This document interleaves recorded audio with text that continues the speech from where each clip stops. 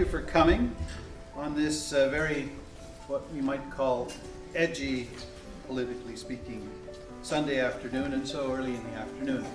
So what we'll do is we'll have a, a series of short talks on uh, various members of this uh, really remarkable family.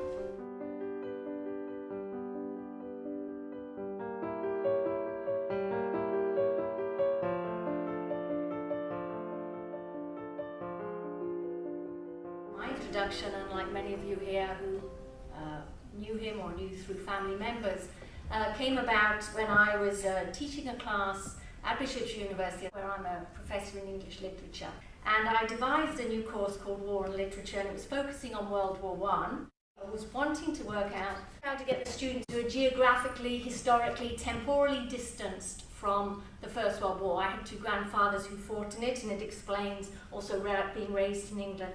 And uh, what I did was set up a project in which the students, often in pairs, shadowed a member of the bishop's community through the early 1900s to the end of the First World War. And I used basically university's history and institutional connection. Bishops actually produces the longest running student publication in the country.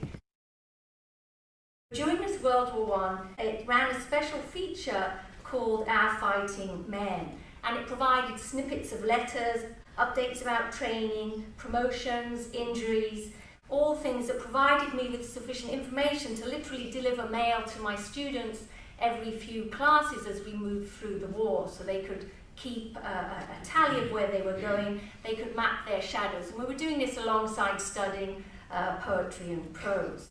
And as we were doing this, it immediately became noticed or notable that one family had sent four members to the war from bishops and they were, of course, the Scott family.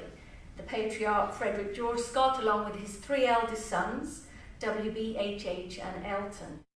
So our subject, the subject of our presentation, is F.G. Scott, familiar, I can see, to many of you, but I'm hoping that we can give you a slightly different perspective by tracing his life through his connection to uh, Bishop's University. Frederick George was born in Montreal April the 7th, 1861, and he started his undergraduate studies at McGill. Didn't go well, and he moved quickly across to Bishop's, where he flourished, receiving a Bachelor of Arts in 1881. Um, at Bishop's, Scott found a fertile ground for what would become the three pillars of his life his religious faith, his love of family, and his love of poetry. And a colleague recalls many years later his encounters with F.G. Fred Scott entered the university in 1878 and was fond of spouting his early poetic efforts to a select few of his friends. The writer, although a good deal his senior, was constantly called upon to listen to these, and not being poetical himself, on several occasions threatened to murder him in the college woods if he did not shut up. How much poorer would the world have been if this threat had been carried out? After graduating in 1881, Scott continued his studies at King's College in London, where he immersed himself in Anglo-Catholic writings, known as the Oxford Movement, and the central figure of whom uh, John Henry Newman has just been canonised just this earlier this month. He returned to Bishops for a master's degree in 1884, the same year that he was ordained deacon. He then returned to England to serve as a curate in Essex, and that's where he met, courted, and married Amy Brooke, who returned with him in 1887 to establish a home in Quebec first in Drummondville, later at St. Matthew's Church in Quebec City, and they raised six children, the seventh having died, Charles, in infancy. All the while, Scott remained very faithful to his alma mater, participating in the Alumni Association, serving um, on the college board, um, and he uh, attended many of the numerous events. So we were very excited to discover recently this photograph of the old boys 1895 and the detail which we're showing you is there is F.G. Scott in the far mm. corner. He was a regular contributor to the Mitre. He first appears in the second issue with the very first alumni letter in which he jokes. I can tell of dark and terrible stories of the wild crowd, of dining room windows opened by stealth at midnight, and of hairbreadth escapes and stalking feet from Johnson's revolver. Yeah, we're not sure quite what Johnson was doing with the revolver, the Dean doesn't carry one now, Dean of Student Affairs. Okay, other events he might have highlighted was the Sigma Affair, which is when the students protested the appalling food, or indeed the Great Fire of 1891 that destroyed the campus. On receiving an honorary degree in 1901, um, he took the opportunity to endow what later became known as the Archdeacon Deacon F.G. Scott Prize in Creative Writing, a prize that's still awarded annually today. Scott's poems appear regularly in the Mitre, as do reviews of his many poetry collections. Um, Scott was always a man of compassion, and bishops enabled him to develop his love of man, God, and nature in productive and positive ways. His desire to help people in desperate, desperate circumstances is clear from an incident back in October the 10th, 1897, when he jumped off the Champlain Wharf in Quebec in the dead of night to save a drowning man, an act for which he was awarded the Stanhope Gold Medal by the Royal Humane Society. Scott's commitment to country and cause was never in question. He dates his patriotic spirit to attending the original Dominion Day celebrations on the grounds of McGill campus, July the 1st, 1867, as a five-year-old with his father. It is only a bit of bunting, it's only an old colored rag, yet thousands have fought for its honor and shed their best blood for the flag. Despite uh, being 53 years old then, in 1914, Scott did not hesitate to sign up as chaplain of the 8th Royal Rifles in, uh, when General Hughes promised 20,000 Canadians to England. he went with the Royal Chaplains. A day or so later, he telephoned the Department of Militia and Defense, Ottawa, offering his services. Shortly afterwards, his son came to him, somewhat troubled and mean, and said, Dad, think you ought to know that I enlisted today for service overseas. To which the canon gleefully replied, with a warm pat on his son's shoulder, That's all right, son. I joined up yesterday.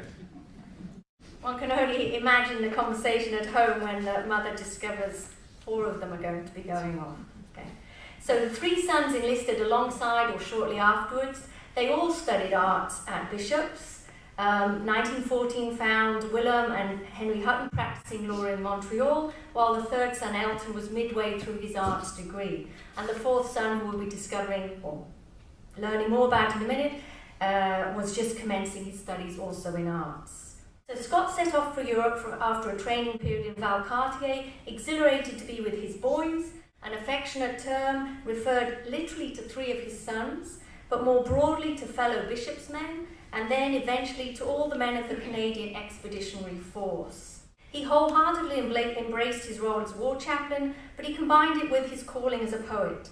Throughout the war, he worked tirelessly to provide a linguistic, a spiritual, a mental, and a physical salve for those around him.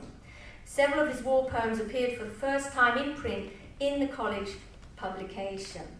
Poems such as Blood Guilt, the Silent Toast, which was written at 4 a.m. after capturing Vimy Ridge, under the light of a storage battery found in a German dugout, Hymn of Humanity, A Grave in Flanders, and On the Lutte du Bois, which Scott wrote shortly after finding out that his son William lost his eye and was returning home.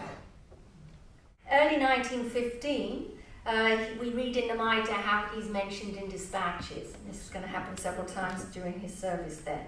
The Mitre is also full of testimonies and anecdotes about the decisive role that FG served and played amongst his men.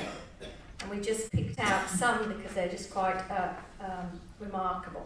A week ago last Sunday, Canon Scott celebrated the Holy Communion where we were then billeted. It was a most impressive service, and as we knelt in the bed of straw before the little altar in the barn, the sound of the big guns could be heard plainly. Many officers and men communicated. Canon Scott is just as jovial as ever, but has aged considerably. We discovered the other day that the bishop's men are quite close to us, at least their camp is. I met Canon Scott in the street the other evening. He is as happy and cheerful as ever. He says that he sees the bishop's men quite often. And this is, uh, this is my particular favourite one, in which he manages to arrange a feast in early 1915, just behind the trenches.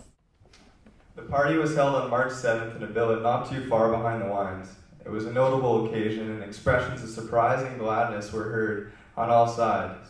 The party itself was done in good old lodge style, details of which you could imagine. Mirabelle Dick, too, we had a lobster. Such a treat. Father Scott certainly did us proud. Now, for those present, Canon Allman looked in for a very few moments, though he couldn't stop. He gave us the very gratifying information that of the 20 Church of England chaplains at the front, seven are from bishops. Not bad, eh? We sang Old Langston and gave a very hearty duo potamo and made nice little speeches about Canon Scott before breaking up and departing through the snow to our respective dugouts, barns, etc. Things are not too bad.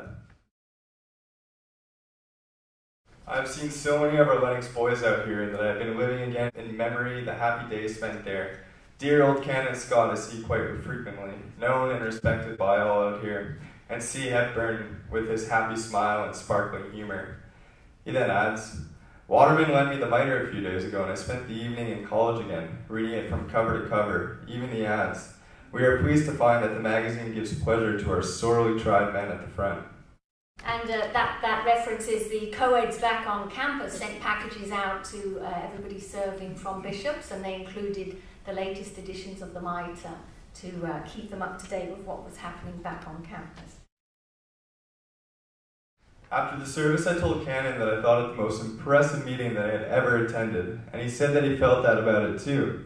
He estimated that about a thousand men were present, and I should say about 200 received the sacrament afterwards. Attendance was, of course, quite voluntary. His hold over the men is quite remarkable. I don't think that anyone in the Canadian Army is more generally respected. In fact, I should say that his position was quite unique.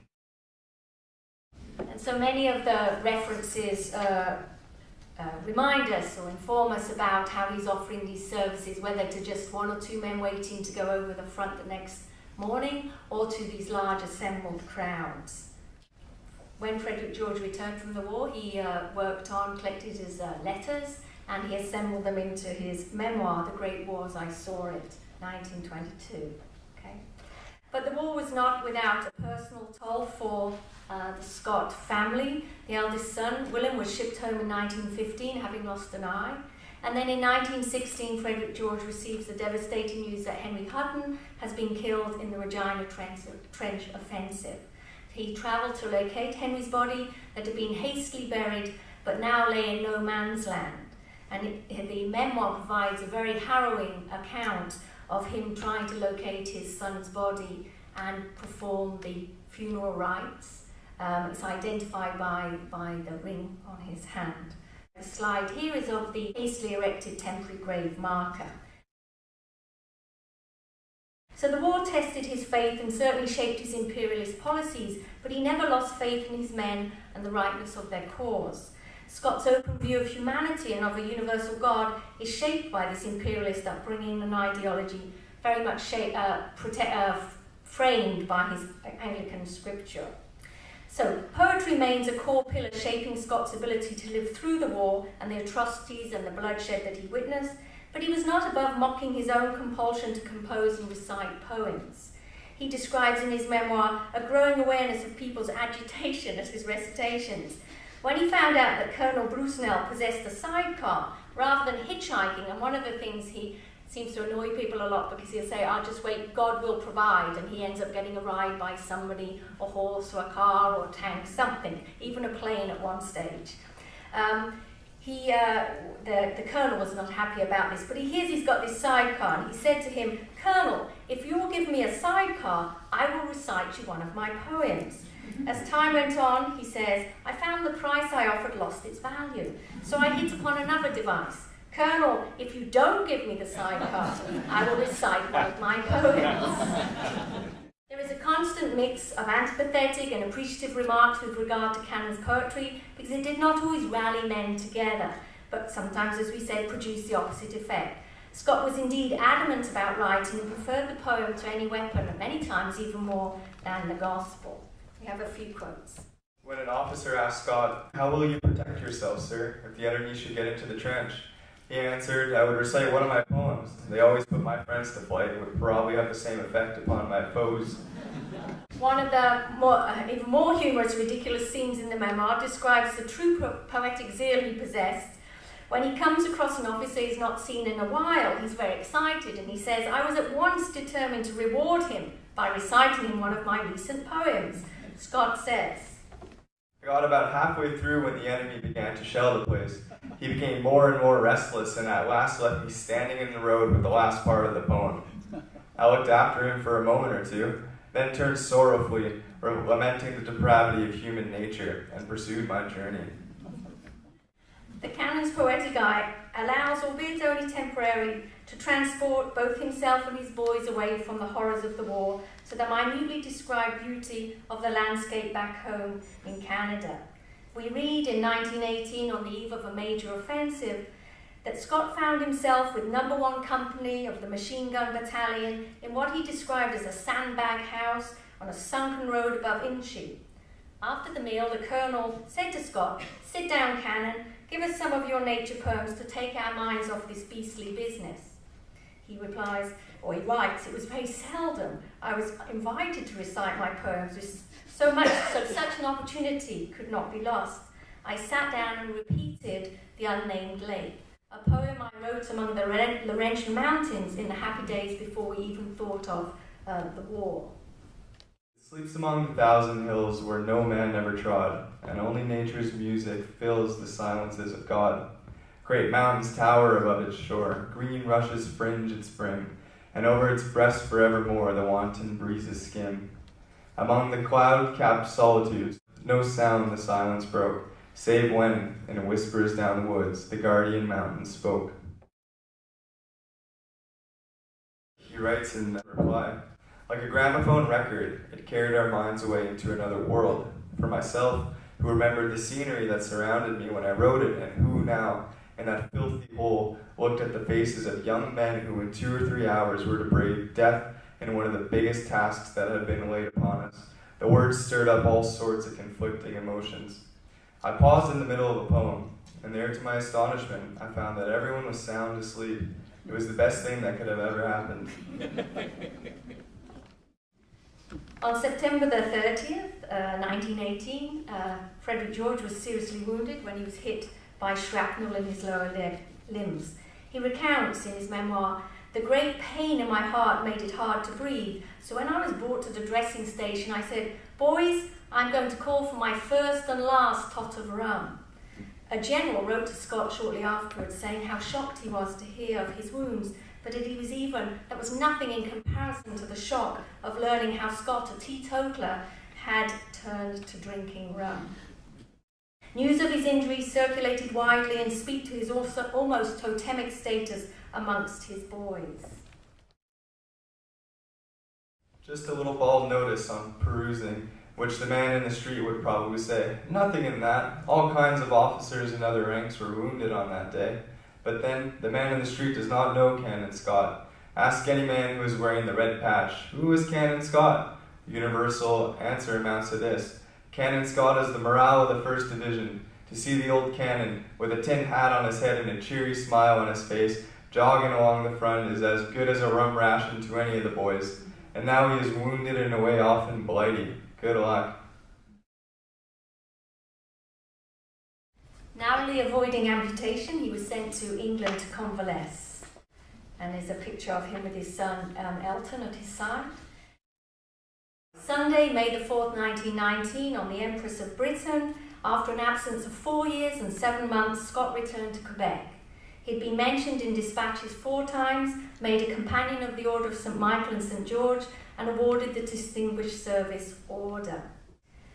Scott returned to his duties at St. Matthew's Church, Quebec, where one of the first things he did was to erect a memorial to his son, Henry Hutton. He continued to have a lively presence of bishops attending many convocations, alumni dinners, always presenting himself in eh, always presenting entertaining, often self-effacing, impromptu speeches. He continued to publish his poems with the Mitre throughout his life, but Scott's war experience forged a permanent bond with the veterans of the Great War. When he learned of the Labour troubles in Winnipeg in 1919, he did not hesitate to travel there to try and mediate between pro and anti strike factions of the Great War Veterans Association. Colonel Waugh, in his memoir of him, describes how, in the midst of all this, he says, In the midst of this turmoil suddenly appeared Canon Scott, who had so recently crossed the Atlantic with the men of the 8th Battalion. The government of the Province of Manitoba did not appreciate his kindly office and soon sent frantic wires to Ottawa requesting that Canon Scott be ordered to return to Quebec. But in fact, Scott exercised a tremendous influence for good in tempering the spirits of the Winnipeg veterans, and that it was through his efforts that they abandoned their plan to march on Ottawa, a movement instigated, according to Ware, by the red elements of the unions. And he apparently quoted some lines from his poem, The Unbroken Line. We who have trod the borderlands of death, where courage high walks hand in hand with fear, shall we not hearken with the spirit step? All ye were brothers there, be brothers here. This labour dispute consolidated Scott's support for improved working conditions, standards of living, unionisation. His concern for social justice was a natural extension of his Anglo Catholic faith that encouraged active work for a better world. Scott's support and championing of his boys led to post war social activism, that their war efforts and sacrifices should not be forgotten by those in power.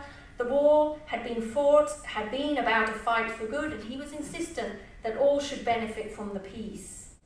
In November 1919, Scott delivered an inspiring oration at the University of Toronto's Convocation Hall praising Woodrow Wilson's pursuit of a League of Nations, and he argued Quote, we should hold up this vision at all times, the vision of nations understanding one another. Seems very pertinent at the moment. This drive led him to support many movements for social reform over the remainder of his life. At Winnipeg, he joined forces with the social gospel activist J.S. Woodsworth, Winnipeg based Methodist minister, future leader of the CCF. His war memoir was published in 1922, initially priced at $3, and all, all royalties were donated to veterans. And as he travelled the country, Scott met thousands of men and women involved in the war effort who signed this personal copy of him, making it virtually impossible to read. His memoir, made Ill- illegible by thousands of signatures, is a physical testament of the canon's impact on each individual he came across while serving in Europe and those he met travelling across Canada post war. And many of them were uh, families who had lost uh, boys that he knew and they would uh, have that connection for through him. In 1923, Scott spoke out against the deplorable working conditions at the British Empire Steel Corporation in Sydney, Nova Scotia. He likened the working conditions of striking steel workers to life on the gas battlefield of France and the living conditions of the Sydney slums to the trenches of the Western Front. In 1932, he worked to raise awareness of the appalling conditions in the Kingston Penitentiary following the riots there. And in 34, he was a keynote celebrant at two services at the Great War Veterans Reunion in Toronto. On the 4th, Scott, now an archdeacon and 73 years old, presided over the memorial service at the cenotaph in front of Toronto City Hall. He returned to Europe in 1936 for the unveiling of Canada's War Memorial.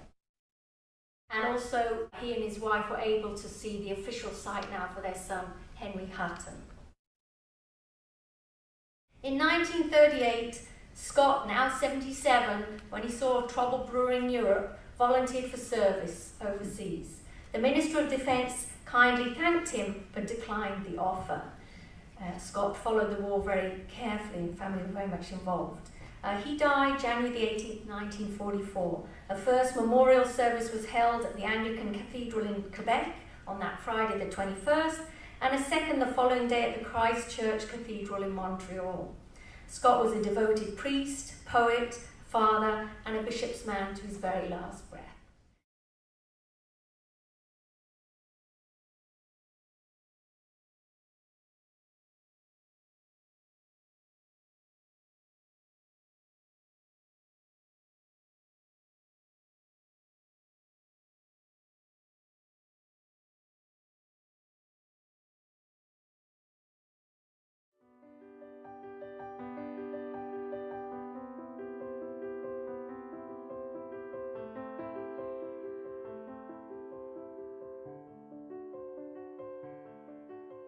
guess it's the romantic individualism which makes me admire Frank Scott uh, as much as I do. As it happens, when I went to McGill, it was after uh, Frank's deanship, uh, it was 68, uh, and I didn't meet him when I was an undergraduate. But I did meet him afterwards when I came back as a professor and I uh, spent many coffee breaks and some uh, faculty retreats at the Gault Estate uh, in his company. I spoke a lot with him, but I never got to know the man. Frank was intensely private. He didn't talk about his life, he talked about the Constitution. Uh, he talked about Roncarelli and Duplessis. He, he talked about uh, the persecution of Jehovah's Witnesses and communists in the 50s. Uh, he could be got to discuss literature, but even then, not in an intensely personal way. Uh, it was only later, through various readings and so on, that I put together the brilliant, old, uh, but nevertheless uh, uh, very witty and, and uh, capable conversationalist with the man who had lived a romantic individual life, life and who had no fear. I think Frank's life is a lesson to today because Frank was not politically correct. He didn't do the things that would uh, get you uh, positions, uh, and that's why he had such a hard time becoming the dean. Uh, but other things too. He was a person who did not conform and nevertheless succeeded. If you have said something 20 years ago that is unfashionable by today's standards, you're destroyed. But Frank did say things that 20 or 30 years later were highly controversial, and they only added to his uh, great prestige. So he had to change positions and never, never from to, to gain uh, things for himself, change positions, navigate in a world of changing circumstances. So first thing is he came from a family of a poet, yes, a clergyman, uh, and a deeply religious clergyman, and an imperialist. And the initial Frank Scott seemed to be following uh, in, in, that direction, certainly very interested in poetry, which remained uh, uh a theme of his life, but also very preoccupied with good and evil, right and wrong. Yet we all know, at least I think we, we all know, that Frank was not a religious man later, that he changed. And he wanted to fight uh, in World War One. He was young when it started. He was born in 1899, but in the end, it was an accident that prevented him from uh, from going. Uh, but once again, when it came to World War II, and we'll have to discuss that, uh, Frank had turned to a near pacifist. So in the 1920s, he went to Oxford. Uh, he uh, did mostly poetry there, poetry readings, poetry groups, and he became interested in modern poetry, very different from his father, who had been uh, a poet in the Canadian, uh, you'd call that perhaps a romantic imperialist tradition, in which you, you, you combine Canadian colors and forests and trees with a strongly, a strong sense of empire. And uh, Frank became interested in the poetry of his time, and uh, he became, in the 20s, a distinguished poet. Now, his poetry is really divided into two, into two things that are really quite different. One can be compared perhaps to the painting of the group of seven, to Harris and people like that, the jagged Canadian landscapes, the uh, uh, anguished poems, uh, and so on. The other are witty aphorisms. Of course, the most famous one that has always remained with us is about poor Mackenzie King, who did not let his on the one hand know what his on the other hand was doing. Uh, I think uh, uh, today's politicians don't have either on the one hand or the other, so Mackenzie King may be uh, fortunate in at least uh, having lost one from the other, but not both.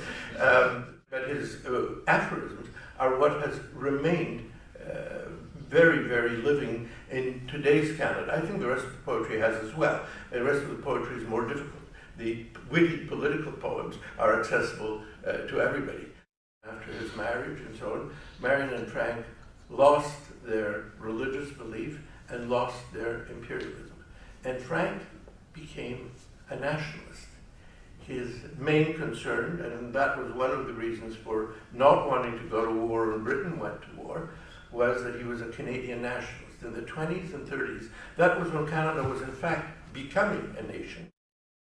Frank wanted a, a particularly Canadian thing. Now, I don't think Frank would have been nationalist in that way in the 70s uh, or, or, 80s.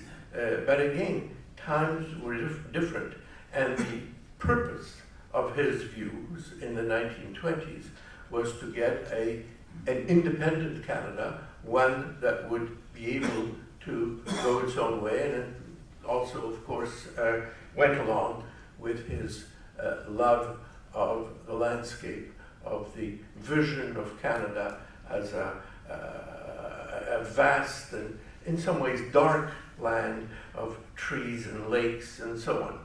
There are two things that then started his legal career, which took a long time. He didn't want to become a lawyer. His, uh, he came back from Oxford, he taught, he did all sorts of things. He stumbled into law. Uh, but what a fortunate event that he did stumble into law and chose that as the ultimate thing to do because he could have remained a teacher. He joined the, the faculty and he, um, uh, most important, helped found the CCF. Frank was actually writing the program, and the program included the nationalization of the basic means of production, uh, of course, total Canadian independence. It did not, at that point, put much stress on French, although he was always uh, uh, pro Quebec in that way, but he also understood that Quebec was a uh, right wing clerical place with which he was to come to blows in the 1950s over uh, that type of thing. So uh, he spent the 30s very much in politics, not running, but drafting programs, going all over the country, organizing the CCF with considerable success, but not in Quebec. Uh, the uh, CCF started to elect people, and uh, he got on the blacklist of McConnell, Montreal, ultimately the Montreal Star, everybody. He had no fears about taking uh, this unpopular position. But then came the thing for which, in today's world, he might not have been forgiven his opposition to the war. His opposition to the war, which later, of course, uh, uh, it, it, sounded as though he had joined forces with the clerical, uh, anti-English people in Quebec who didn't want conscription, uh, but it was his profound humanism, his belief that killing was wrong. But look how far he had moved from the young man who was expressing uh, religious and imperialist views as a teenager to the man who opposed the war on principle, even though he made it clear he loathed Hitler and that it was not out of any sympathy. And of course, by then he was allied with uh, people like David Lewis. Uh, it was obvious that he was in no way uh, pro-Nazi or, or anti-Semitic or, or, or anything of, of, of that uh, sort. He continued to teach, and uh, he did want to be dean. It took him a long time to get there. But then he went into practice, went into the practice of law, but only for a few cases. But his cases are the leading uh, not the labor one that he lost in the 60s, which is not very important, but the ones that he won in the 50s are among the leading cases of law altogether. He explained that because McGill challenged him, again, not politically correct. We don't want our professor around the courthouse uh, spouting left wing views. And he said he had to do it because of financial reasons. He had to support his family. How can he uh, manage? Uh, but I don't think it had. I don't think he made money in practice. I think he made law in practice. And the issue was Duplessis, and the, of course the Padlock case, but especially Roncarelli and Duplessis, the most important uh, cases uh, in uh, Canadian constitutional history. They were not. He was not a member, and he would have disapproved without any doubt, just like John Humphrey, whom I knew much longer, he was a close friend of mine towards the end, who was another man, who, a, a non-conventional professor of law who was on the left in those days when you weren't supposed to. John Humphrey was totally opposed to identity politics, and I think Frank Scott would have been as well. Uh, he, he, would have said, no, that's not my CCF. My CCF was individual equality. Uh, my uh, uh position on constitutional was ind- individual liberty, the right of each person to uh, just treatment, and not dividing, deciding which group got how much, and whether there were enough of this group or that group or anybody else in, uh, on a committee. I think an incident in Roncarelli and Duplessis um, uh, illustrates the nature of uh, Frank uh, Scott. Before he became counsel, Mr. A.L. Stein, who was Roncarelli's uh, original lawyer, uh, went around looking for counsel in the big offices. He realized that it would be difficult in the circumstances of the late 40s and early 50s for a relatively small Jewish lawyer to beat the Premier of Quebec, and he wanted a name that sounded Scottish and uh, whatever. And he went. And in one of the big law firms, he was told, Look here, Stein, in this business, you hunt with the hounds or you run with the hares, and we've made our choice. And therefore, he was to see Frank Scott. Frank Scott did not hunt with the hounds.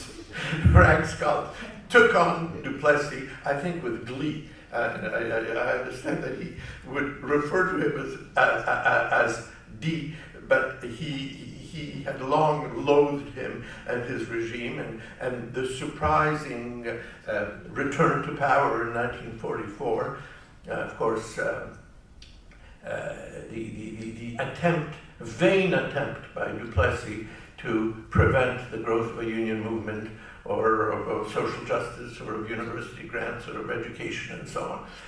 So, with the principles that were established in 1950, and it's all to the credit of our Supreme Court uh, that it, because in the United States, all of the anti communist things failed.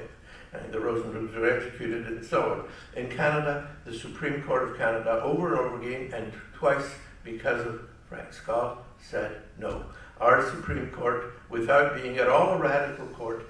Uh, it, it, was not one of Frank's uh, cases, uh, Scott's cases, but you know, it was in that period of time uh, in uh, Smith and Rhuland when the Supreme Court, faced with a refusal of a, a Nova Scotia Labour Relations Board to certify a union because the Secretary General was a communist, Mr. Justice Rand said there are certain facts that must be faced no one can doubt the pernicious nature of communist doctrine, it is not illegal to be a communist in this country.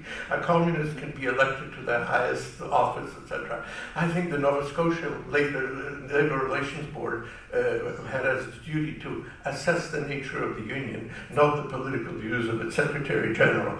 Um, but uh, Roncarelli and Duplessis was particularly important. I was fortunate enough to do my stage in an office with Fauteux's council in 1971, and I ch- in 74. I challenged Fauteux and Roncarelli and Duplessis, and he said, "I'm still uncomfortable with it, but you have to understand that in those days it meant for a French Canadian, it meant being totally isolated if you went that way. So I found a way of saying Duplessis was wrong, but the case should be thrown out, and I could sleep better, uh, and I didn't have to face it when Frank Scott didn't worry about it." It had the same effect. On the English side, it was perhaps a little less total, the, the, the, the uh, uh, isolation, but it was a daring thing to do. The next thing that has to be seen as very daring and very important is Lady Chatterley's Lover. Uh, the book had been published in some places, but not in others. Uh, the Canadian Supreme Court was ahead, I believe, of the House of Lords in saying that it could be done. Um, one of the things that we have to remember is that in today's world, Frank Scott could get into trouble with the politically correct. After all, uh, D.H. Lawrence believed that men and women were different and that women needed men at all times, whereas men needed each other. He said some silly things, I think. Uh, on the other hand, I, I, don't think there are many books that are better than uh, The Rainbow and Women in, in Love. Uh, I, I, do not, I am not of the school that James Joyce was the greatest novelist, I think Lawrence was. But Lawrence is really being, uh, Lawrence and Virginia Woolf, but Lawrence is really uh, very much disapproved today. And a fight for D.H. Lawrence today might well, and, and especially Lady Chatterley's lover, uh, might well not please some of the adepts of political correctness. Uh, but Frank uh, did not hesitate about that, and he got the judgment from the Supreme Court of Canada. Now, we must remember once again Mr. Justice Taschereau, who had dissented on Roncarelli and Duplessis. His dissent I shall never forget. He said, The author, evidently not without some talent, believes that adultery and fornication are the answers to the problem of the 20th century. And then he went on with his dissent, with uh, um, uh, all of uh, his uh, venom uh, possible. So he got it, but not unanimously. He still did not get through to that right wing clerical thing. Now, Frank then became very much in favor of bilingualism and of the right of Quebec uh, to work in French, uh, to be French. Nevertheless, and he, and he, was a friend of Pierre Trudeau, not did not turn away from him when Trudeau switched parties. Uh, that was uh, he understood that uh, uh, as long as you make a contribution, the label was less important. But Frank then turned very much against Quebec nationalism. Once again, he might not be very popular. He supported the War Measures Act. I'll say right away, I think he was wrong in that. Uh, but I, uh, I think that went too far. But at the same time, he did understand that the type of nationalism that was being preached by Quebec was not what he had meant when he said he was a nationalist in the 1920s. Not that type of nationalism, but a open, a, an assertion of Canada, yes, but not a, an exclusion of others. I remember Roncarelli and Duplessis was the great Bible of civil liberties.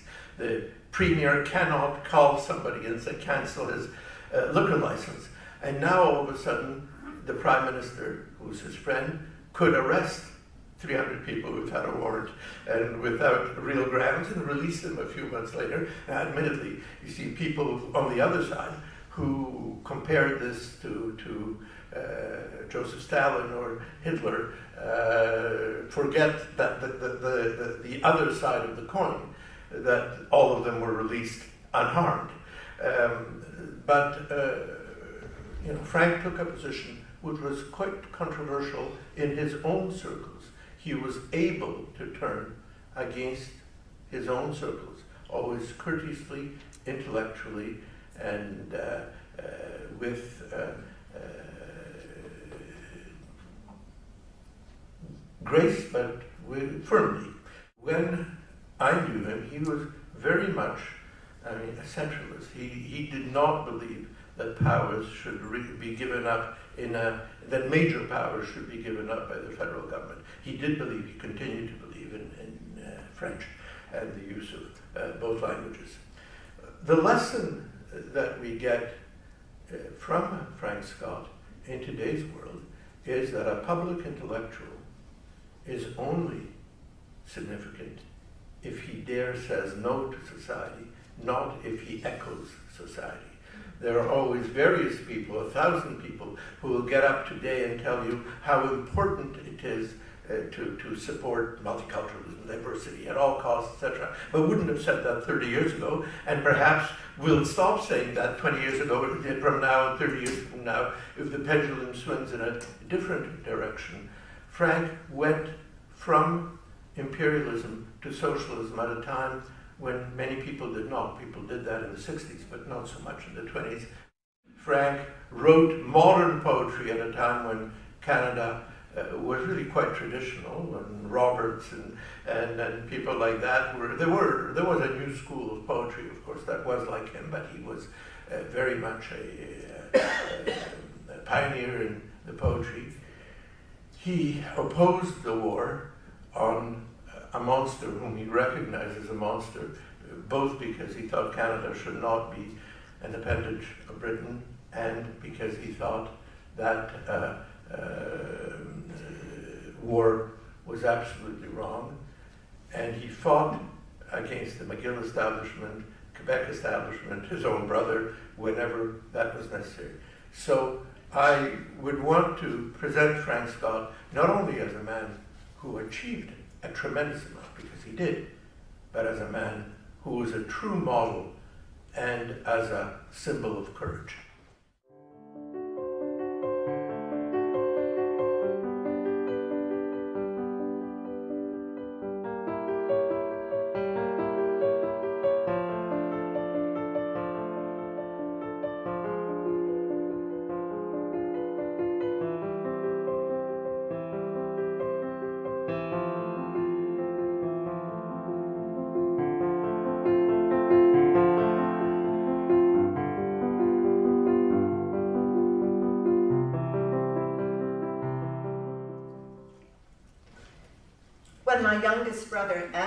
Was 10 or 11, I walked over to the Scott's house with him one afternoon.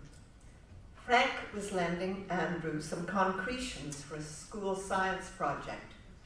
Concretions are fossil like entities that Frank liked to search for along the banks of the Coaticook River. Marian welcomed us in, and we chatted with her in the hall as we waited for Frank to come down. The large front hall of the Clark Avenue house, which you see here, opened onto both the living and dining rooms, where several of Marian's paintings hung along the walls. This was Andrew's first visit to the Scott City House. After taking in his surroundings, he said, You know, Mrs. Scott, someday you'll be famous. well, Marian is not yet famous, but she has survived and succeeded. She is recognized and respected. She was unique among the women artists of her day in continuing to evolve artistically into her late 80s, never making one style her signature style, but always moving on to new explorations.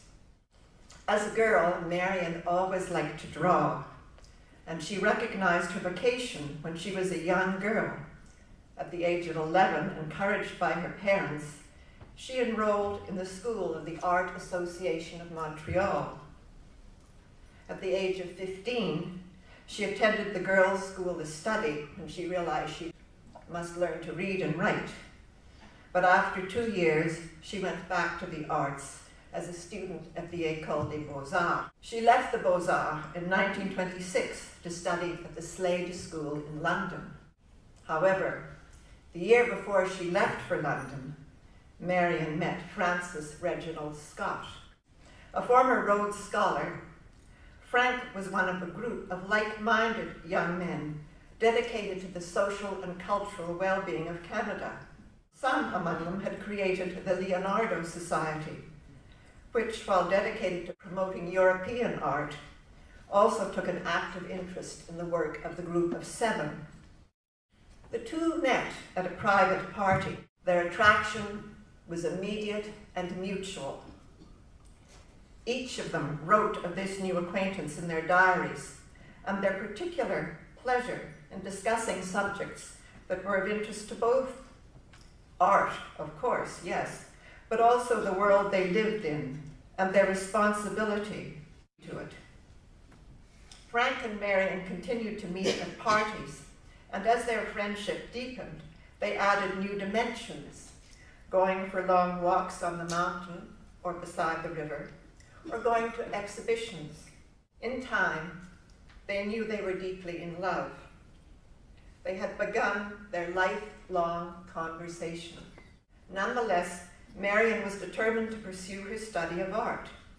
Resisting the conventions of her day, she confided in her diary, I mean to live my life fully. I am leaving my home and my country for the sake of experience and life.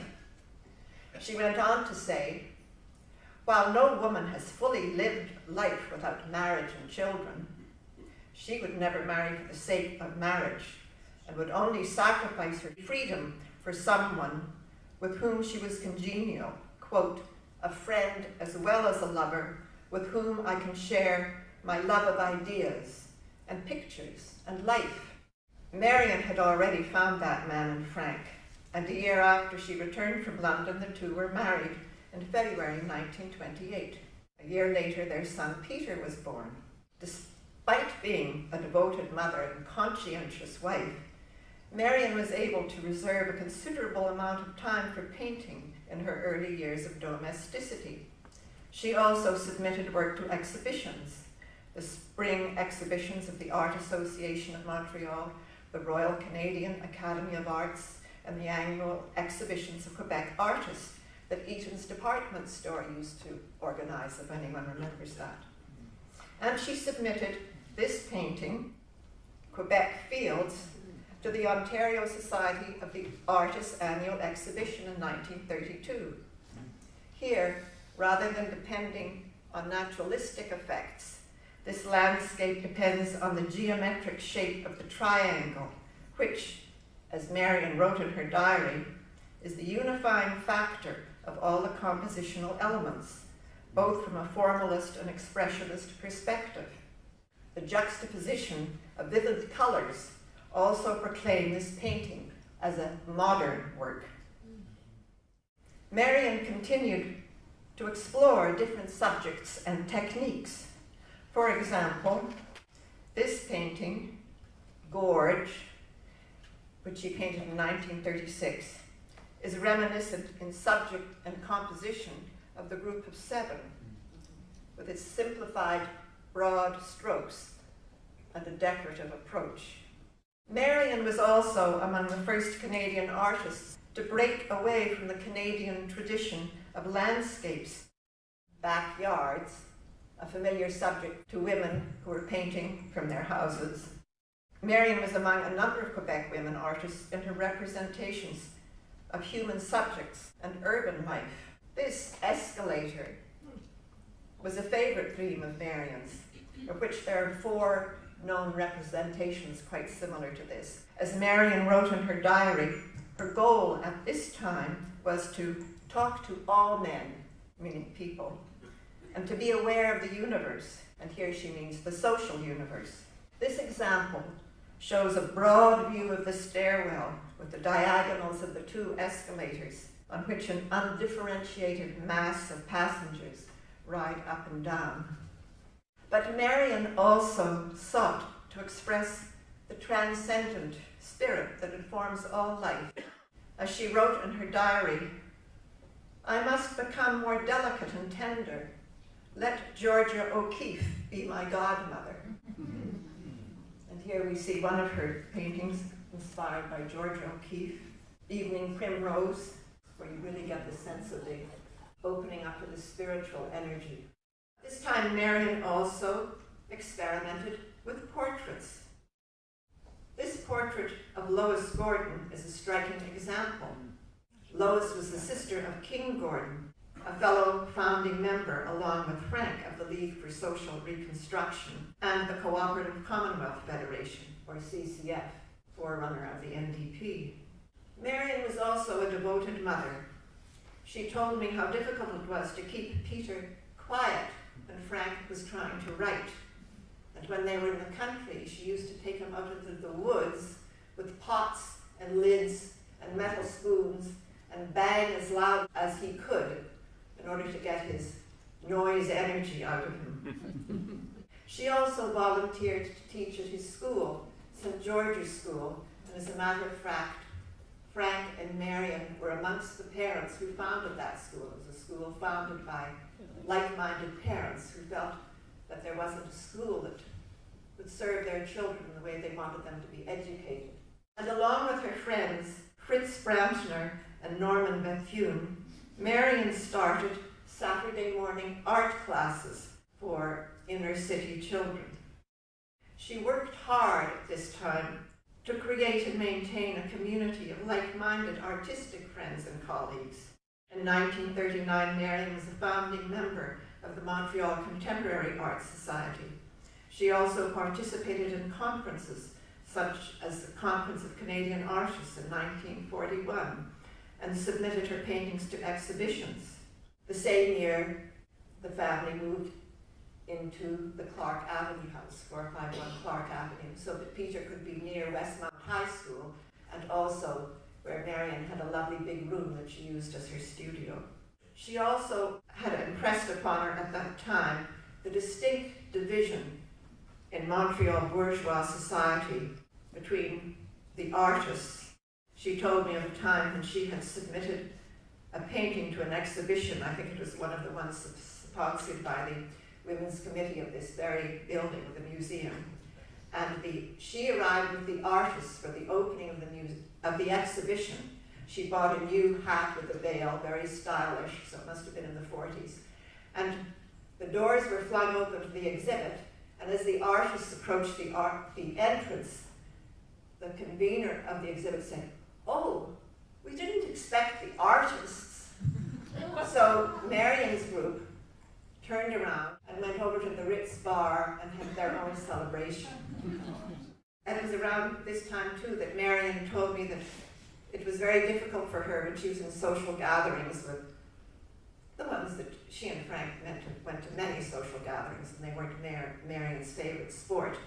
And she told me how people would say to her, Oh, you artists, you're always ahead of your time. And Marian would say, No, we're not. We're in our time. It's you who are behind the times. This time, she also wrote of her desire to leave the ivory tower of the studio and participate in what she called the democratization of art. Her friend, endocrinologist Hans Selye, who was to become famous for his research on stress, made one manifestation of this desire possible. Through his intervention, McGill's Faculty of Medicine commissioned Marian's mural, Endocrinology, for the Strathcona Medical Building. Marian worked for 18 months on this mural. She prepared herself by reading texts on the endocrine system and the life and multiplication of cells. In the finished piece, a strong male figure stands in the center. He's the researcher. He's surrounded by cells, amoebas, human bodies, some of which are whole, others malformed. Dr. Selye, in an article that appeared in Canadian Art on art as an inspiration to science, lauded Marian's achievement in conveying the true spirit of scientific inquiry. Both Marian and Frank were embedded in a world of socially transformative activists, not just thinkers. And the two met frequently with Quebecois artists and writers at the home of Jean Palardy. Interestingly, Gabrielle Roy was part of this group. Her Bonheur d'Occasion appeared in 1945 with its starkly realistic portrait of Montreal life in the Saint Henri neighborhood.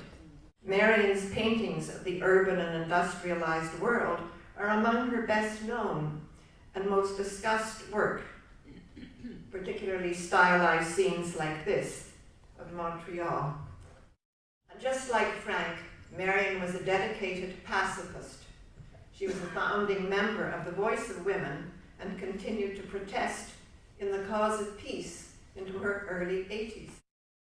There's no denying that Marian found of the couple's private social life psychically exhausting, both in Montreal and at their country house in North Hatley. Here's Frank paddling on Lake Massawippi. These social occasions were psychically exhausting not only because they were time consuming, but also because Marian was shy and disliked small talk. She also experienced great pain from Frank's dalliances with other women.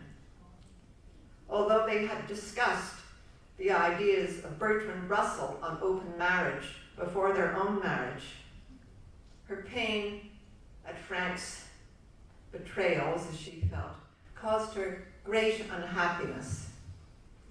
And in 1950, she moved out and rented an apartment on Peel Street. She had been teaching, and so she had her own income and could support herself. But Frank came to visit her every day, and they would sit and talk on the balcony and carry on their conversation. And eventually, he convinced her to move back home to 451 Clark Avenue, which she did, although she came back with a resolution which she wrote in her diary. No more parties, no movies, just painting. In the mid 1950s, Marian was commissioned to create this mural for the non denominational chapel in the Montreal General Hospital. It's known as the Tree of Life, but Marian wanted to call it the Burning Bush. You can see there in the middle, there's a barely discernible human form of the center of a burning tree, depicting the inevitable human pain and suffering in the midst of ever renewing joy. By the 1960s, having explored different modalities of expression, Marian turned to abstract art. At this time, Marian expressed her creativity through large non representational paintings, simple in line and vibrant in color. She was one of the few Anglophone painters of her generation to make the transition to geometric abstraction, which had long been and continues to be the purview of Francophone artists.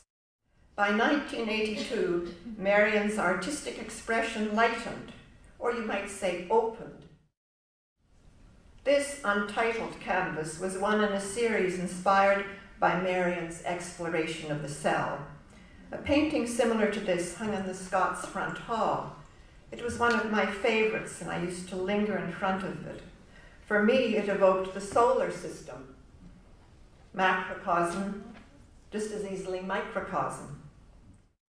My intimacy with Marian Frank began around this time, although I had known them since childhood as friends of my parents. In 1982, Frank asked me if I would consider being his part time administrative assistant. His hands were badly crippled with arthritis, and it was becoming less and less possible for him to hold a pen. His main concern was for Marian. He didn't want her to forsake her painting for tedious tasks. I thus adopted the practice of going to the Clark Avenue house for two mornings or afternoons a week. I grew to love her very much at this time. She was bird-like in all the best senses of the term, lyrical and self-contained. She brought an exquisite precision to all she did and said, her strength of spirit shining through her bright eyes and smile. I loved listening to Marian and Frank converse. She would never let him get away with anything and would often follow up on a remark he made by saying, What do you mean by that, Franco? Her special name for Frank. I began this work. Frank suffered a stroke and was confined to bed. This point, Marian gave up painting completely and devoted herself to running the household, nurses around the clock, a cook to provide them with meals, and other household duties to attend to. I kept on visiting the house, and she always left the door open for me when she knew I was coming. This long period was hard on Marian, and she got fatigued.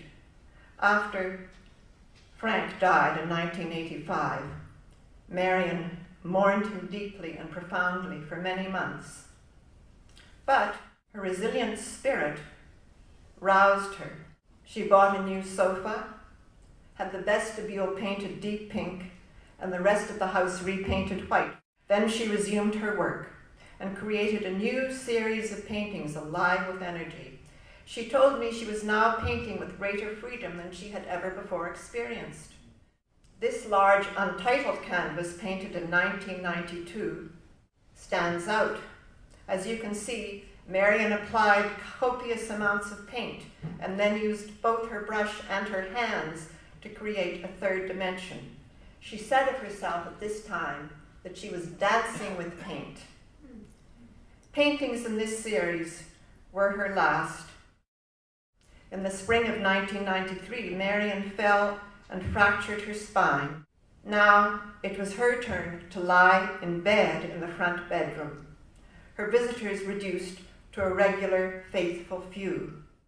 Shortly before her death, the city cut down the large elm tree that stood in front of the house. The house looked quite bereft without it, but Marian said, Don't you see? More light is coming in. At Marian's memorial service, Ron Graham said, Marian became lighter and lighter until she became light itself.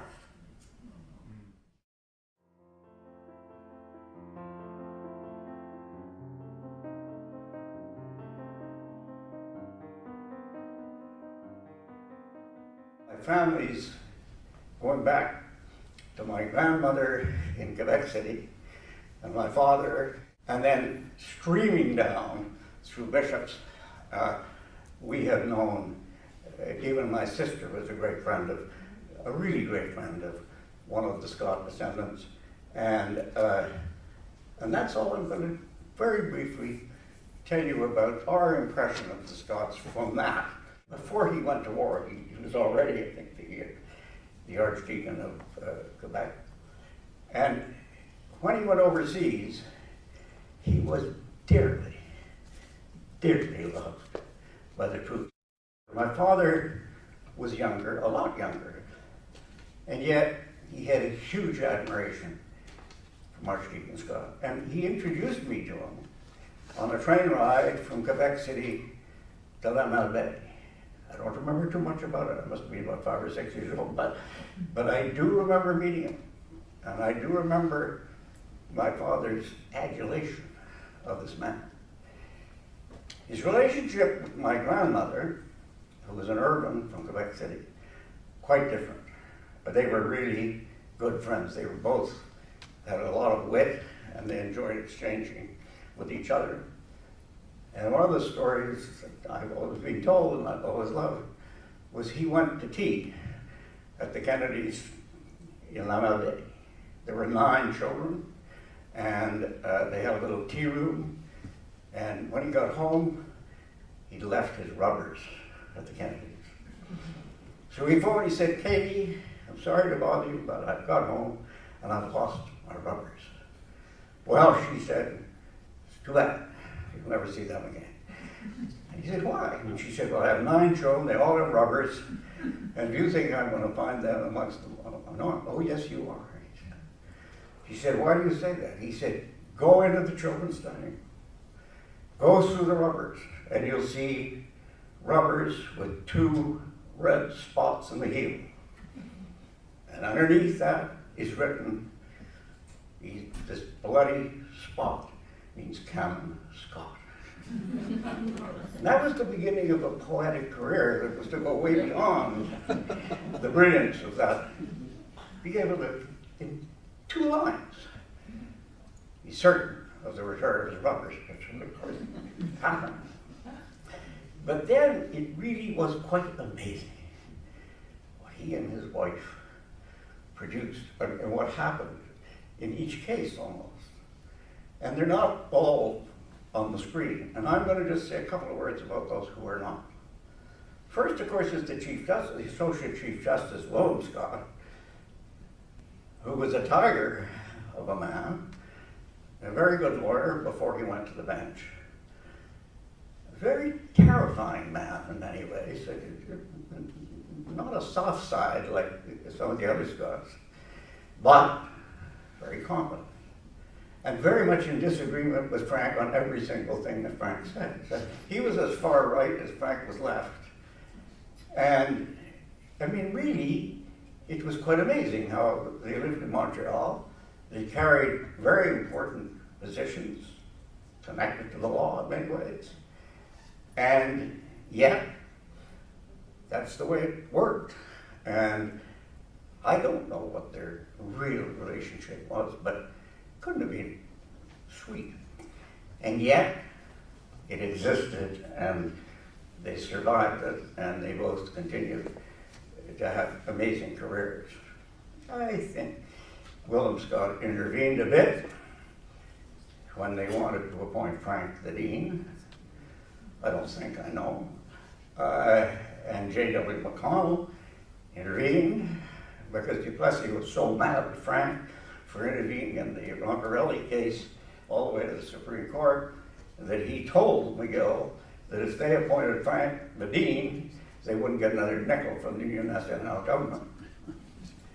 And it took a certain number of deaths for Frank ultimately to be the dean, and, and all these political people standing in his way. And my God, were we happy. I don't think there was any graduate from McGill Law Faculty that didn't think Frank Scott could be the dean. And so, thank God, at the end, he was the dean.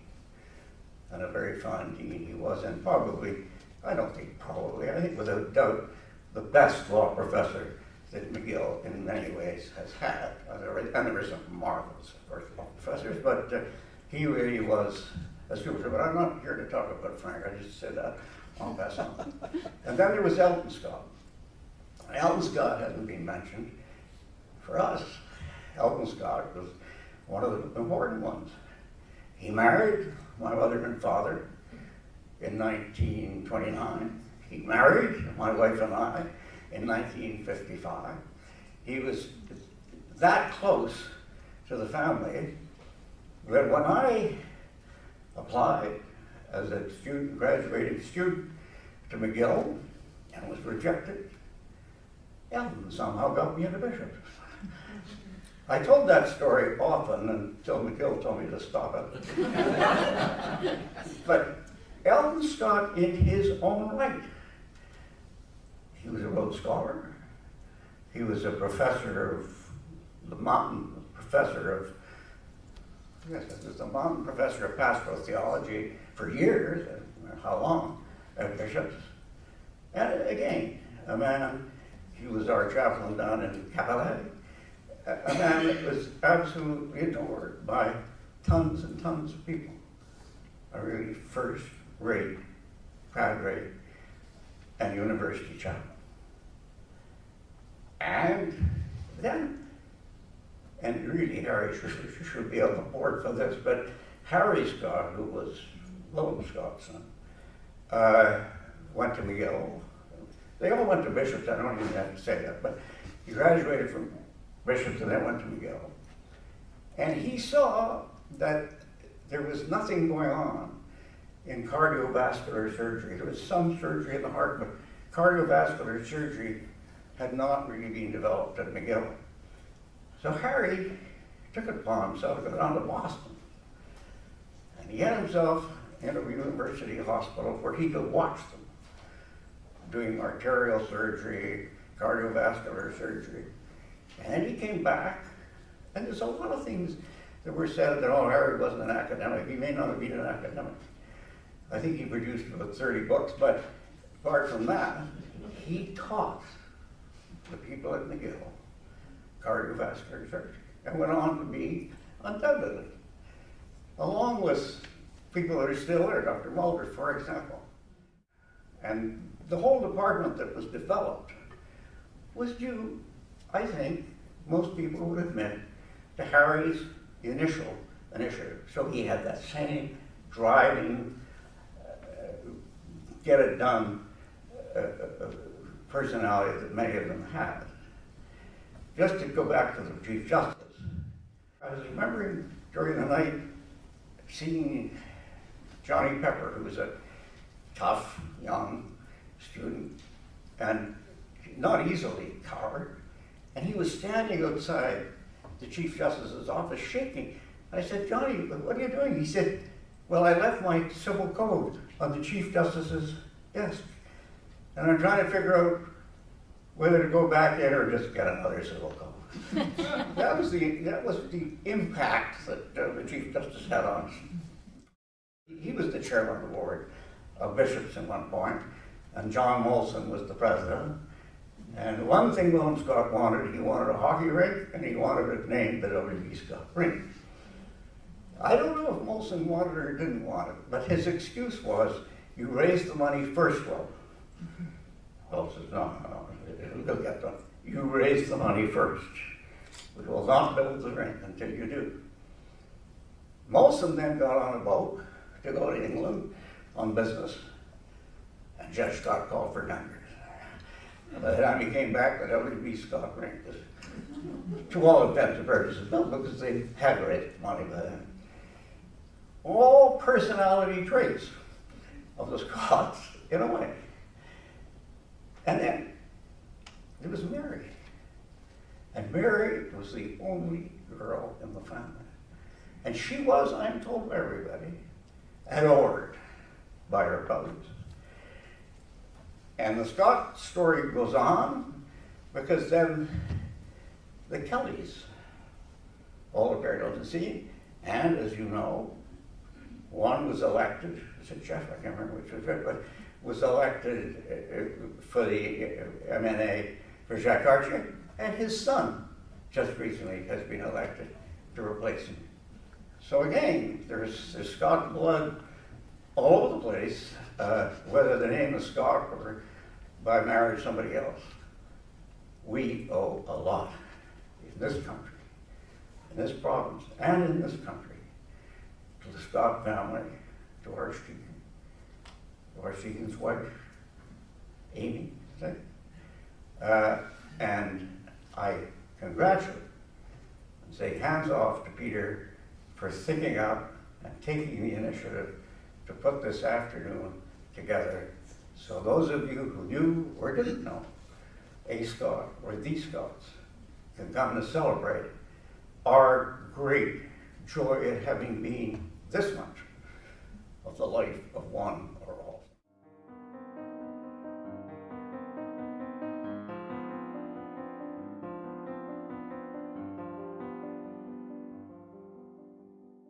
I'm Freeman Ng, and I'm a former student of Peter Dale Scott's, and I'll be giving a brief biographical introduction before turning things over to Peter. Peter was born in Montreal and earned undergraduate degrees in philosophy and political science from McGill University. After studying at Oxford, he returned to get his PhD in political science from McGill in 1955. He briefly taught there before serving as a Canadian diplomat in the UN Assembly and the Canadian Embassy in Warsaw. In 1961, he joined the faculty of the University of California at Berkeley, where he became a major voice in the anti war movement, co founding the Peace and Conflict Studies program and the Coalition on Political Assassinations, and in 1965, being the first faculty member to speak out against the war in an on campus public event and being the featured speaker at the first ever teach in. Peter is most well known for his political writing, especially for his development and application of the terms deep politics and the deep state to American politics. His political books include Deep Politics and the Death of JFK, The Road to 9 11, American War Machine, and The American Deep State but he has also published several volumes of poetry, which include Mosaic Orpheus, Tilting Point, and Walking on Darkness. In 1988, the book that many consider to be his most important to date, Coming to Jakarta, which combined poetry and autobiography with a political expose of the 1965 Indonesian massacre, was published in Canada. In 1989, it was published in America by New Directions Press, whose founder, James Laughlin, said, not since, quote, not since Robert Duncan's groundwork, and before that, William Carlos Williams's Paterson, has New Directions published a long poem as important as Peter Dale Scott's. Robert Hass, the poet and critic, who would later serve as an American Poet Laureate, called Coming to Jakarta, quote, the most important political poem to appear in the English language in a very long time. Coming to Jakarta is only the first part of a trilogy of long poems that Peter has entitled Seculum. The second part, Listening to the Candle, was published in 1992, and the trilogy was completed with the publication of Minding the Darkness in the year 2000. The poet Scott Peck called the completed trilogy, quote, one of the essential long poems of the past half century. Peter's latest book is Poetry and Terror Politics and Poetics in Coming to Jakarta, where he discusses the history, content, and significance of coming to Jakarta and his evolving understanding of it, and goes on to write about the potential of poetry for both personal and political healing. And now, without further ado, Peter Dale Scott. Hello to everybody in Montreal. Um, I'm very, very pleased to be part of this important event, and I'm very grateful to Peter Margo, first of all, for visualizing it and then for making it happen. And I'm uh, grateful also to my old friend uh, Freeman Ng, who I've done many, many videos with, because we did a whole series of videos about coming to Jakarta, which are now more than half of this book, Poetry and Terror. And uh, in working with uh, the videos with Freeman, on, I, I learned more about myself and my poem when I did the videos, and I learned even more about myself when uh, we did the book. And Peter Margo, I've learned more about myself trying to prepare this uh, video presentation for you. So thank you for that also. You're not the first to have this idea. Was 10 years ago, a quite famous Canadian historian, an award-winning Canadian historian, approached me and said he wanted to write about me in connection with my father and grandfather. And, um, you know, 10 years, or a few years before that, I had been approached by another award-winning author who wanted, who wrote for the New Yorker, and he wanted to write a profile about me for the New Yorker. And I said no to him because I felt I was too young still to be memorialized in that way. But the idea of being connected to my grandfather and father, I really liked, and I said that to the historian. But then he gave me his projected title for the book, and I, I can't get all of there's only word one word in it that I am I'm sure was in.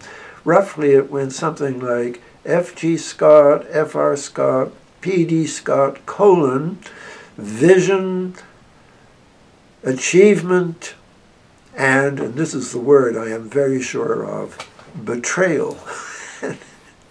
I said, I don't think, I, I don't see myself as a traitor to my father and grandfather. And he said, oh, I don't mean it in that sense at all.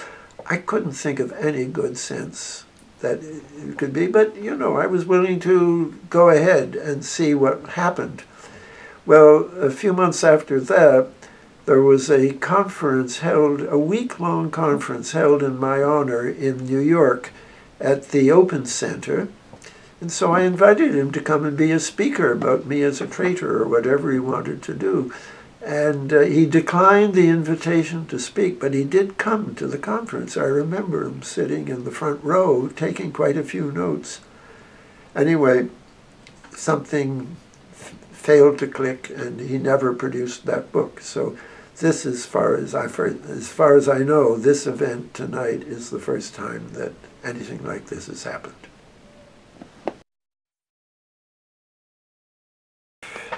I want to mention uh, one of my most vivid memories from childhood because it, I think it had quite an impact on me. It may have been the last time my grandfather came to visit us in Westmount, and he was here for lunch, and he said, at his end of the table, mischievously, he said, I would like to say grace before the meal, but I know that Frank and Marian don't want Peter to find out that there is a God. Uh, whether he deliberately planted those words deep into my brain, I don't know, but they went deep into my brain. And I think, you know, my father's, my father was a humanist. And uh, those of you who know his poetry know that he has a very short epigrammatic poem where he says, the spirit of man is my God, the future of man is my heaven. And in my middle years, I would have thought that was too flip and glib a way to deal with matters as serious as God and heaven. But in my old age, I've come to the point where I feel I am both my grandfather's grandson and also my father's son, and that my own vision of what religion and culture is is large enough to see both of those uh, both of those approaches as true. I suppose in my practice I'm more like my grandfather really because I go quite often to services, and I've even given a, uh, a sermon or two. But uh, the the, uh, the difference is that I'm now married to my dear wife, uh, Ronna Kabatznick, who is inspired. We said my, my most creative period is being married to her and producing. It's almost a book a year in my 80s, and now hopefully in my 90s. And um, I don't go to a church anymore, and I'm not even going to a Buddhist temple anymore. I'm going to a Jewish synagogue, and it's uh, that is my current practice. My father, um, a kind of optimism. I, I, think it has to do with being Canadian. That uh, there was. I haven't talked about. Yes, others talked about my father's political development, but he was um, he came back with a kind of aesthetic orientation from Oxford, and then uh, as a professor of law, he saw the depression and the, the demonstrations of the unemployed who wanted food and the brutal reaction of the police, and he intervened, and he became political but in an optimistic way. He wasn't trying to overthrow the Canadian system of government. He was trying to correct a, a way in which it was deficient.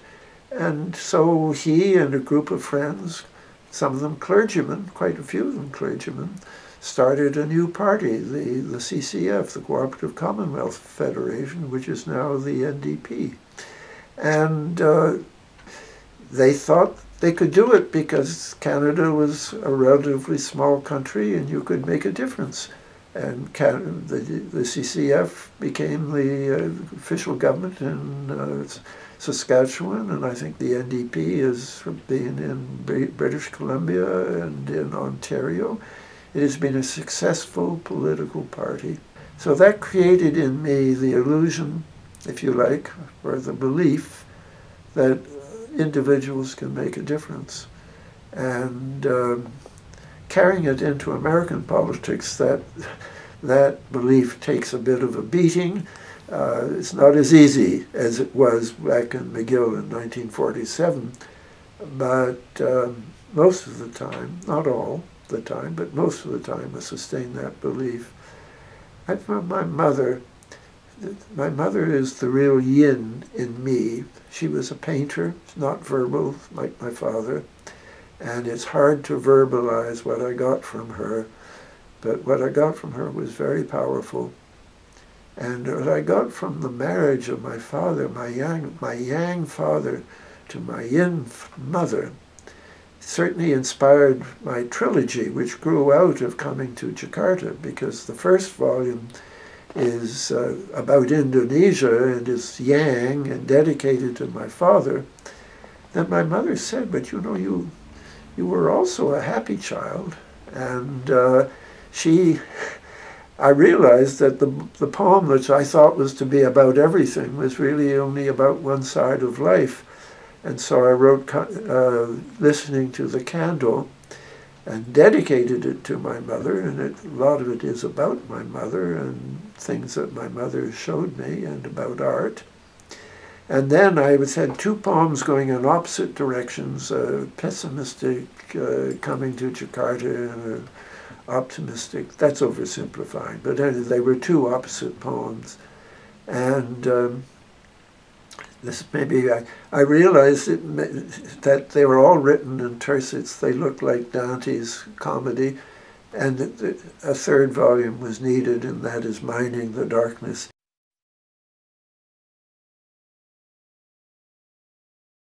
I had good schooling in Montreal. I went to St. George's School. And in the seventh grade, uh, I, my father had a Guggenheim. We all went down to Cambridge, Massachusetts. And I had a year at Shady Hill School in Cambridge in 1940. At that point, Canada was at war and, and uh, with Germany, and America was not yet. So that was something that we all thought about quite a lot. And uh, anyway, I'm very grateful for that year. Uh, I came back, finished in Westmount High School, and then went to McGill. And I had a great deal, great deal of trouble picking majors. I started in honors math and physics, but the real reason I liked the physics it was uh, David Keys, my professor, who left to go and head up the new Atomic Energy Commission in Canada. I did not like his successor, and besides, I found I was a bit lazy to be a real scientist. It was so much easier to do humanities courses. After a great deal of uh, heart wrenching anxiety uh, and a, almost a nervous breakdown, I finally elected to major in philosophy and political science. And I do want to mention one course that was uh, particularly important to me. It was a seminar on the thought of Alfred North Whitehead, taught by one of Whitehead's own students, a Montrealer by the name of, well, I was going to say Tommy Henderson, because my mother told me that he'd been an old boyfriend of hers before she got married. That seminar is important to me because I, I, I still think about Whitehead and see it, Whitehead's philosophy, his process philosophy as a way of reconciling concerns about theology with concerns about quantum physics, actually using quantum physics as a corrective to the more static physics of the Enlightenment which has been one of the major themes of my recent work. I had a very, uh, you might even say, successful time at Oxford until I ultimately failed my degree. I was, um, I won a poet, second prize in a poetry contest, and I became first the poetry editor of the main college magazine, the Isis, and then was appointed editor in chief. But meanwhile, I had got into an argument about Hegel with my politics dons, some of whom, were, like Isaiah Berlin, were quite famous.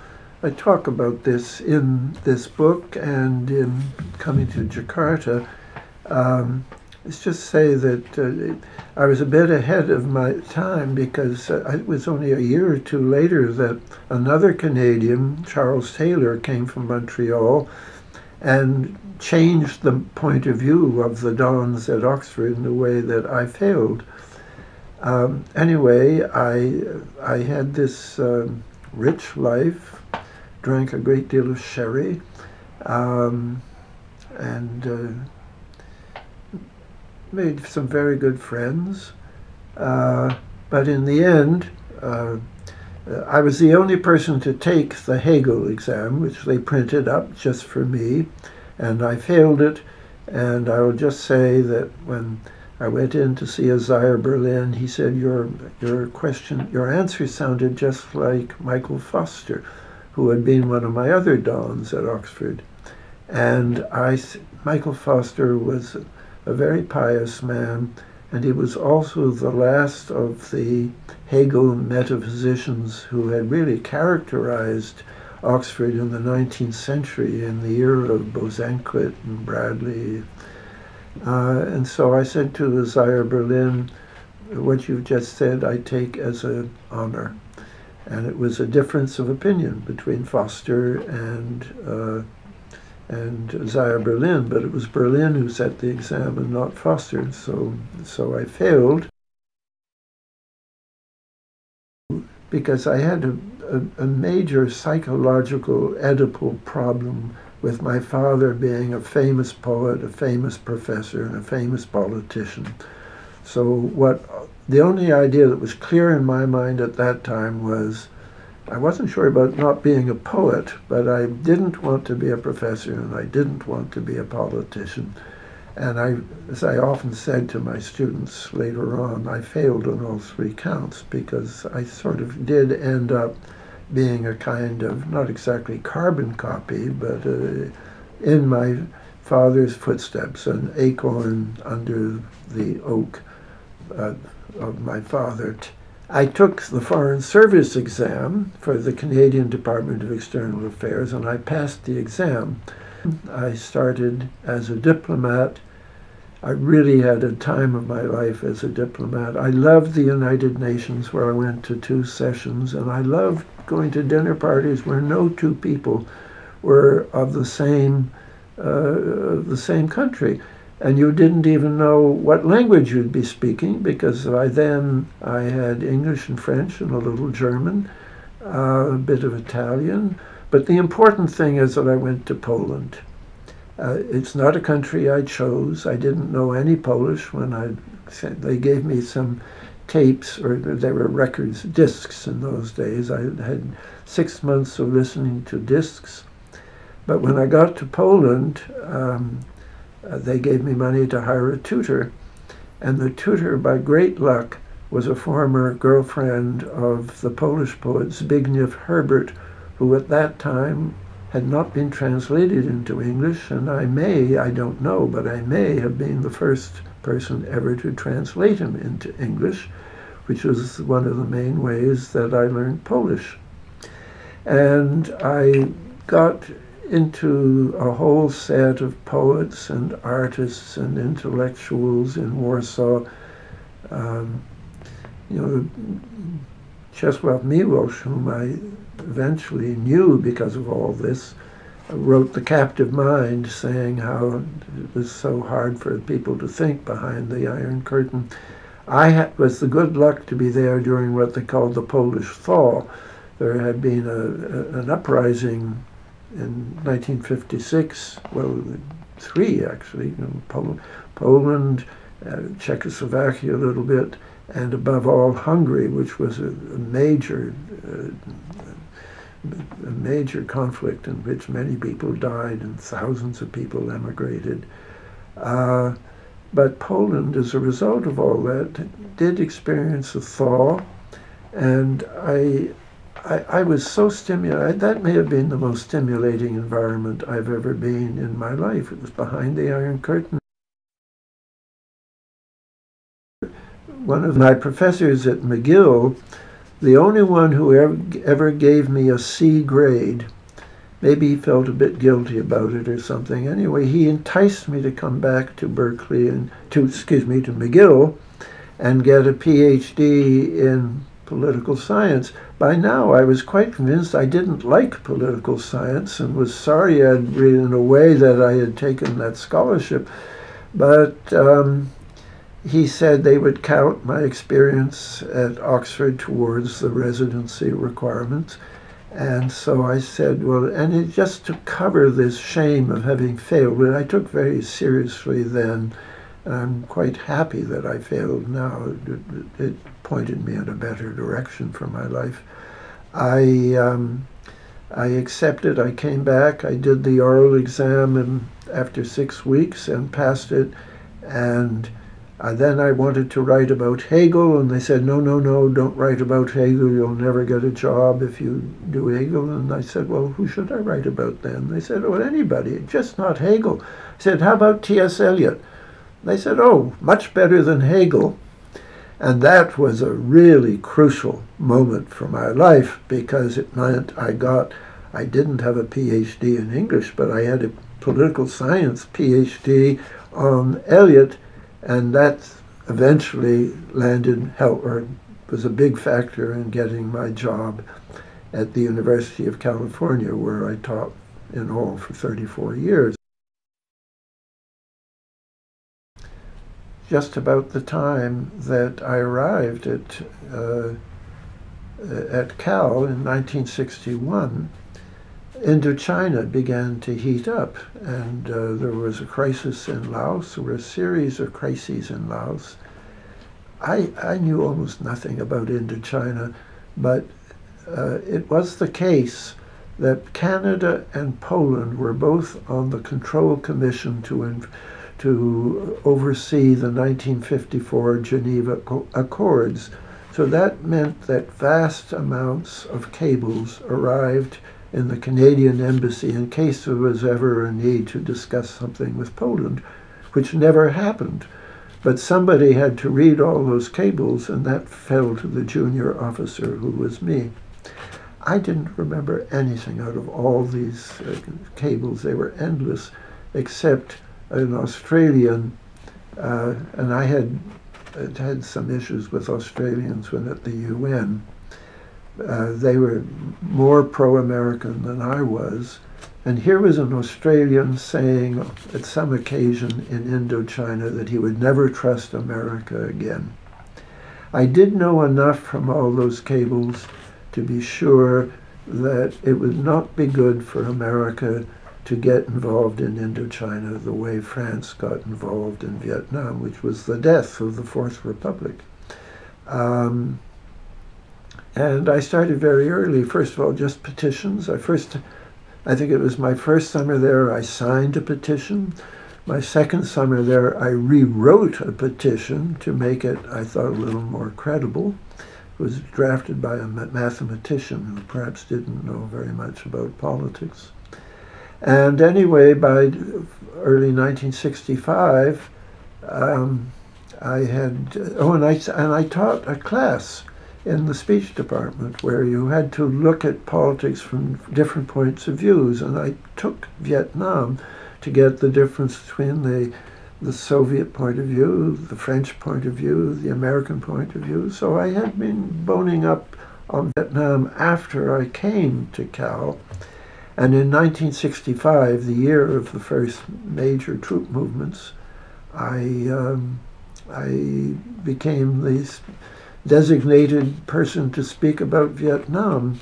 And I always said you should get an American to speak about this. And they said there are no Americans here who know anything about it. So as a Canadian, uh, I spoke up saying that we, meaning America, should not get involved in Vietnam.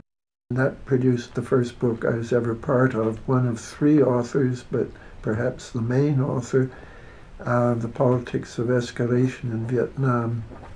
And I remember being very disappointed when I went to visit. The next time I was in Washington, I dropped into the embassy where I had friends. But I found that my friends had, were quite offended by the book.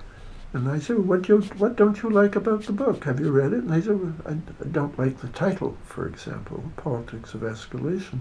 But there was a politics of escalation that America fended off others like U Thant or de Gaulle who started peace initiatives. If there was a peace initiative, the response was more bombing of Indochina by the Americans, and that was the theme of the book. And that got me involved into a lot of speaking about Vietnam and a lot of speaking about what I considered a related topic, which was the assassination of John F. Kennedy. Uh, a lot of people doubted the official version in those days, but very few people spoke about it. And certainly, I may have been the first academic to have spoken about it.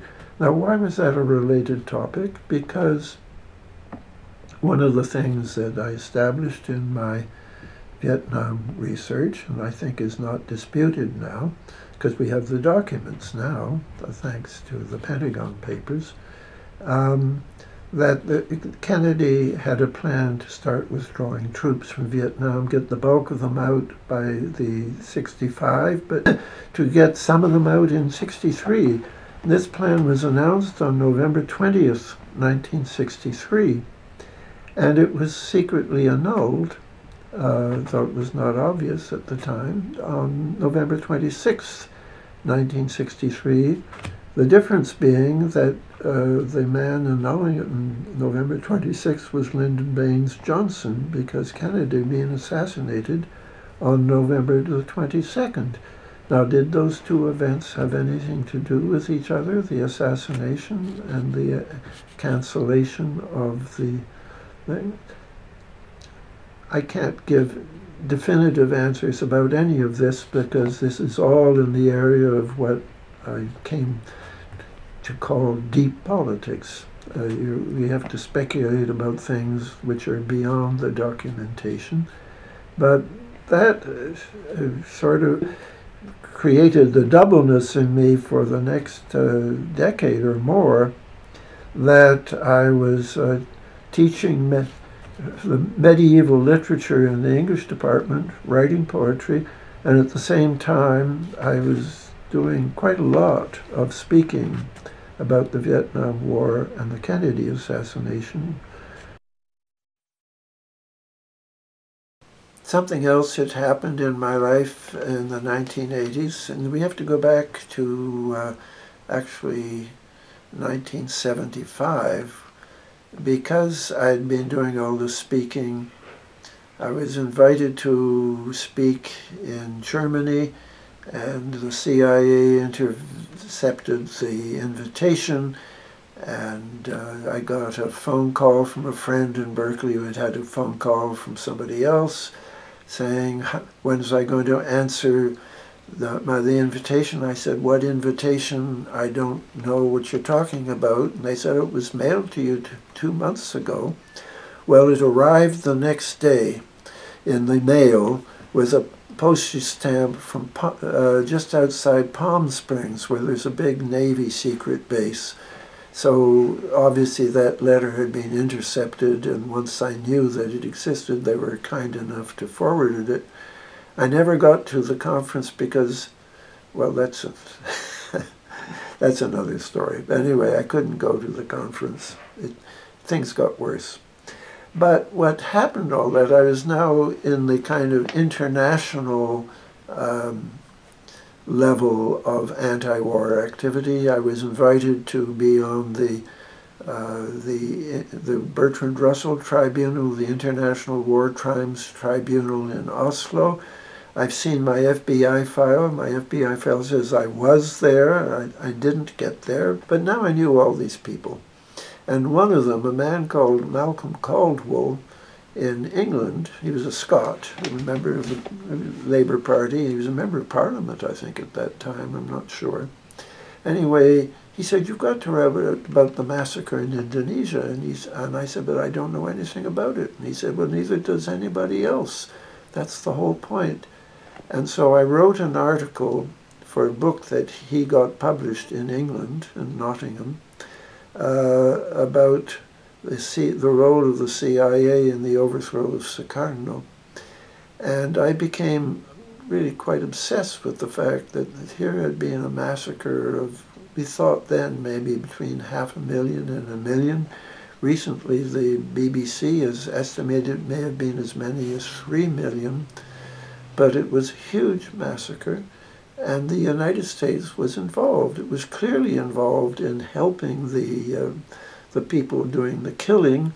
And I went out on a limb and said that the CIA was also involved in the false flag coup, as it was called, coup attempt by the communists, which was the excuse for the massacre. Uh, I think history is well born. No, we have the again we have the records of uh, CIA government support at high levels for the groups that were carrying out the killing. That's not an issue anymore. It's still a question whether they were involved in the false flag coup attempt called Gestapu, and I remain confident they were. But I became very depressed that I knew this fact, and I knew then quite a lot also about the CIA and drugs. I knew these things, and I was talking about them, and nobody was listening. I did a great deal, I did a great many radio broadcasts, and each time I did it, I felt more and more frustrated. And it came to almost a, one night in 1980. Reagan had just been elected, that was a factor. Um, I had a terrible night. I drunk too much, that was a big factor. And I had a night in what Watertown, Massachusetts, where I thought I was losing my mind, and by the end of the night, I felt I'd already lost it. I'd been crazy not just for 24 hours, but for the last decade when I had been telling people things that they were not capable of hearing. And as a result of that, shall we call it panic attack or uh, mini breakdown, I just not was not the first one I'd had in life, um, but I'd always, it was a, a very scary one while it happened, and the result of that breakdown was that I started to try to heal myself by just writing poetry, and as I wrote and wrote and wrote furiously for six weeks, the end of six weeks, I had a book length poem called Coming to Jakarta, which I then polished for the next seven or eight years. I, re- I retired in 1995. It really pretty much uh, booted out the door with a golden parachute, which uh, I didn't want to do at the time, but it's been the best part of my life has been since my retirement. Because of my 20 odd books that I've written, more than half have been written in the uh, not quite 25 years since I retired, both on the poetry side and particularly on the prose side. Um, and uh, most recently, they have been healing this yang yin doubleness in me because I'm writing about both poetry and politics for the first time. This is the first book in prose to deal both with politics and poetry, why uh, the best poetry needs to be addressing politics, and why the best politics needs to be aware of poetry. Uh, and this is the theme of my life since then.